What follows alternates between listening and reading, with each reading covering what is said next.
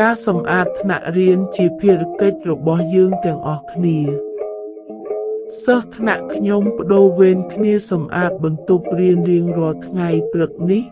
ដល់វេនក្រុមខ្ញុំសម្អាតបន្ទប់រៀនមិត្តភ័ក្តិដែលជាសមាជិកក្រុមទាំងអស់នាំគៀនទៅសាលារៀនមុនម៉ោងសិក្សាដោយយកអំបោះកន្ទប់និងធុងទឹកទៅជាមួយផងពួកយើងនាំគៀនបោះបន្ទប់រៀនជូតតុកៅអីទ្វារនិងបង្អួចអ្នកខ្លះប្រមូលសម្រាមកំទេចកំជ័យកាប់ធូលីយកទៅចោលក្នុងធុងសម្រាម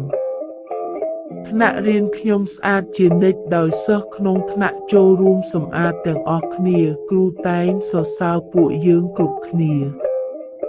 អនាម័យនាំមកនៅសុខភាព